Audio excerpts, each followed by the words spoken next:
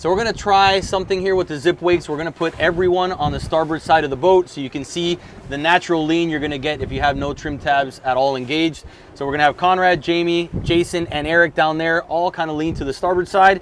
And then I'm gonna engage the Zipwakes so you can see how it levels us out. So I'm gonna go ahead and kick us in gear.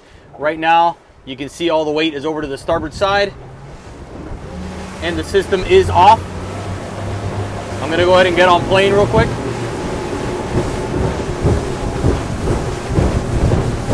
We got a pretty strong lean as you can see. I'm gonna go ahead and engage it.